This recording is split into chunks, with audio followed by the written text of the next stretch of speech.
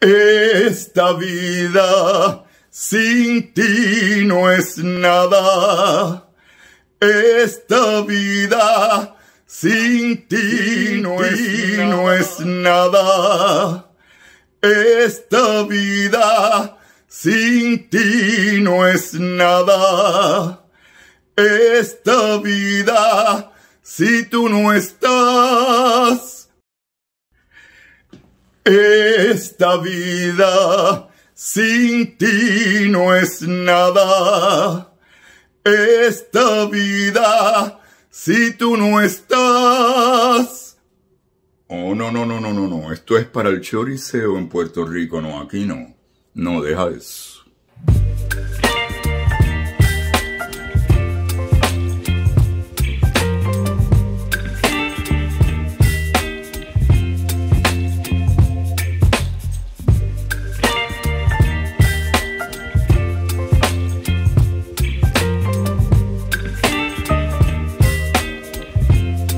Óyeme, pero ¿y qué es? Todavía tú no te has preparado el té o el café y estás ya en el mood ricurancia para comenzar el recholateo. Pues mira, ponme el en hall y dale. Acomódate, acomódate que el momento de la ricurancia es ahora, para luego es tarde. Dime una cosa. ¿Tú sabes lo que es una mujer histérica?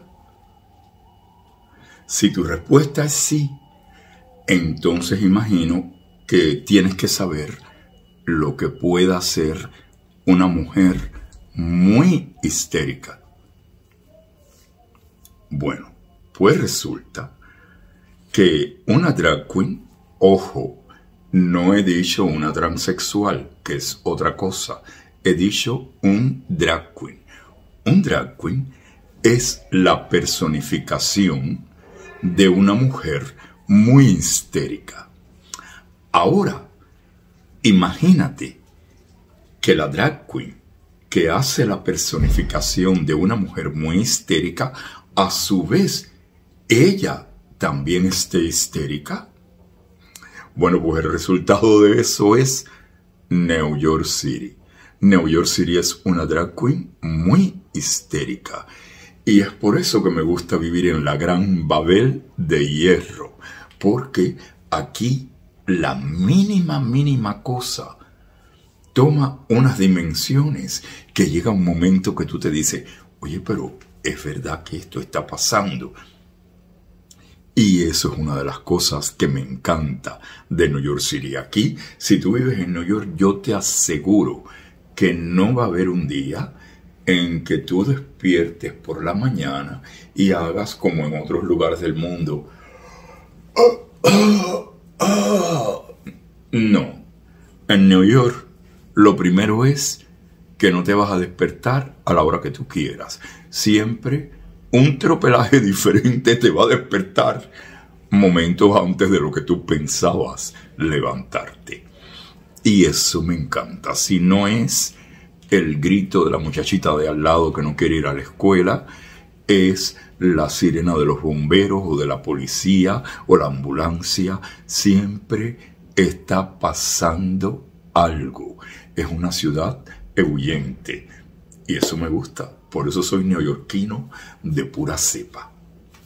Mi nombre mi nombre es Angelo Fernández y ya tú sabes, te estoy transmitiendo todo esto desde la Gran Babel de Hierro, New York City. ¿Qué tal? Entonces imagínate tú, hoy me levanto, me emperifollo, estaba yo en un mood sublime, en un, en un mood elegante, disperso me preparo, me visto, hago mi plan de las cosas que tengo que hacer fuera en la calle. So, abro mi puerta, salgo, enfilo el corredor y doy mi primer pose. Sigo andando, entro al elevador, abre el elevador en el hall del edificio, yo salgo, tomo posesión de todo mi aquel y voy con garbo, con elegancia y sutilidad. Y cuando voy a abrir la puerta de cristal para salir a la acera, lo que te digo, la ciudad drag queen. De momento, llegan a la entrada de mi edificio como 17 carros de bomberos. Todas aquellas sirenas sonando que me dejan en, wow, ¿qué pasó aquí? De pronto veo un molote de bomberos que viene en dirección mía y yo ni corto ni perezoso me he acomodado pa en el mismo centro de la puerta del edificio y me dije, uno de esos monstruos tiene que tropezar conmigo, tiene que chocarme. Porque, óigame, amiga mía, lo que venía para arriba de mí era mucho y usted podía tirarse con los ojos cerrados, que más malo estaba de rechupete. Pues yo, pa, en la puerta del edificio. Esos bomberos están muy bien entrenados. Ellos llegaban, ¡fui! ¡fa! ¡fa! Me esquivaban. Los 17.000 bomberos entraron, subieron al piso 11 sacaron al viejito que se le había trabado la puerta, lo bajaron y yo allí, en la puerta del, edificio, ellos bajaron, sacaron al viejito, se lo llevaron. Y ni una mosca tropezó conmigo. Creo que ha llegado el momento de mudarme. Bueno, ya tú sabes, todavía yo estoy reponiéndome de mi Navidad que fue fantabulosa. Yo espero que la tuya haya sido también divina. Todavía estoy abriendo regalos y entendiéndome con cosas que me han llegado para aprender a funcionarlas. Eso es una recurrencia de la vida que deseo tú también estés experimentando donde quieras que estés. Así es que, óyeme, hoy no tengo, por eso no tengo eh, un plan directo de lo que vamos a hablar en este video, porque como estoy salido de esas fiestas y ya preparándome para la bacanal de despedir el año, pues ya tú sabes, no he tenido mucho tiempo. Así es que lo que voy a hacer es, voy a contestar algunos de los comentarios que he leído debajo de mis videos, porque quiero que sepas que sí, leo todos los comentarios que se me escriben. Contestándole a Tabata Taina, fíjate que sí, definitivamente creo que la crítica severa a celebridades y personas de renombre es un, es un asunto, un fenómeno social de resentimiento. Por lo regular, por lo regular, las masas que no tienen posibilidad de hacer las cosas que hacen las pequeñas élites, las celebridades, esa gente, critican arduamente todo lo que esa gente hace, pero lo critican porque ellos quisieran hacerlo y en cuanto tienen la posibilidad de hacerlo en menor escala, escala ves que van corriendo a hacerlo. Un ejemplo de ello es el escándalo Valenciaga. Todo el mundo finge estar muy ofendido con Valenciaga por la cosa terrible que sucedió en la propaganda de los niños. Entonces las celebridades fueron casi empujadas, obligadas a públicamente quemar los artículos que tenían de Valenciaga, etcétera, etcétera. Entonces miren lo gracioso. Kanye West tiene un almacén lleno de cosas de Valenciaga porque él tenía business con esa firma. Y le dice al público, vengan al almacén tal y tal, que todos los artículos de Valenciaga que han sido siempre para ricos los voy a vender a 20 dólares. La fila afuera del almacén y la gente arrebatando cosas para comprar era absurda. Las mismas cosas de Valenciaga. ¿Se dan cuenta? Así es que todo el que criticó frente a las tiendas de Valenciaga, en su interior, lo que le dolía era que las cosas de Valenciaga eran muy caras y no las podía comprar. Eso es una condición muy humana que se ve en muy diferentes situaciones y cosas. Gracias Tabata por ser una seguidora fiel y dejarme tus lindos comentarios. Mi querida Diane, el asunto de la soledad deseada es muy poco usual. La gente regularmente tiene miedo a encontrarse con sus errores porque uno puede engañar a los demás, pero nunca puede engañarse uno mismo. Uno dentro de sí mismo sabe si ha hecho bien, si ha hecho mal, si ha mentido o si no. Entonces, hay personas que tienen miedo a la soledad porque ahí aflora tu espíritu y entonces nos vemos tal y como somos con nuestras virtudes y con nuestros errores. Y afrontar los errores propios no es cosa fácil para todo el mundo. Por eso la gente rehuye de la soledad.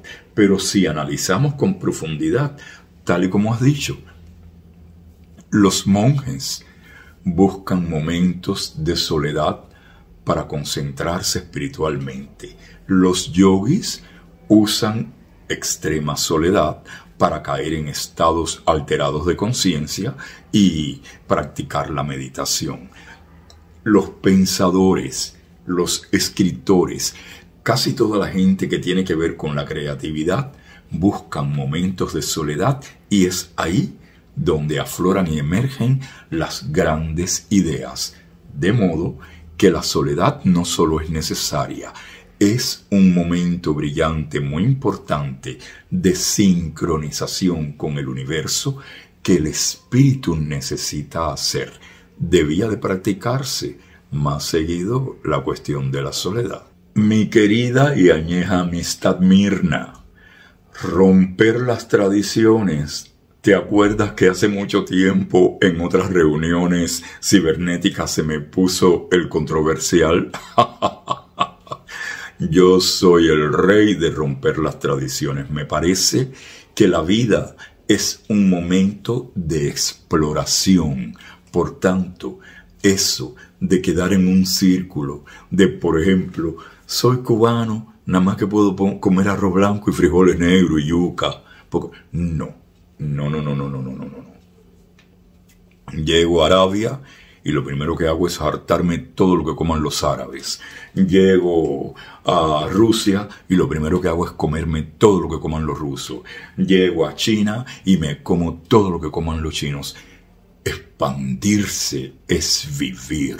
Yo pienso que cuando Dios, el Dios como yo lo veo es muy distinto a como lo ven ustedes, pero bueno, el mismo nombre. Yo pienso que cuando Dios nos puso en este planeta, él no dijo, de aquí para allá está el país, de aquí para acá es el otro. Él no puso frontera.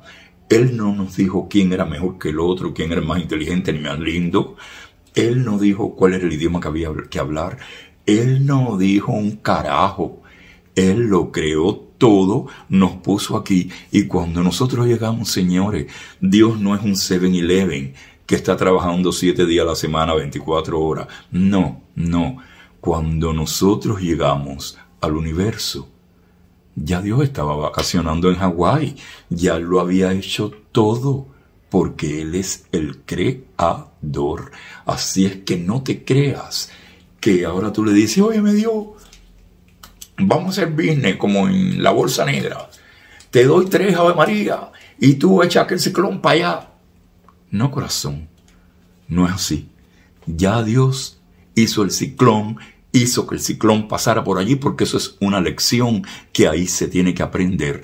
Tú no eres quien para decirle a Dios cómo tiene que evolucionar el mundo. Esa es la primera equivocación que yo veo en los religiosos, pero bueno, como ese no es el punto, vamos a lo que vamos. Vive la vida a plenitud, experimenta. Yo creo que es muy sencillo, mira, y esto es un punto muy personal mío.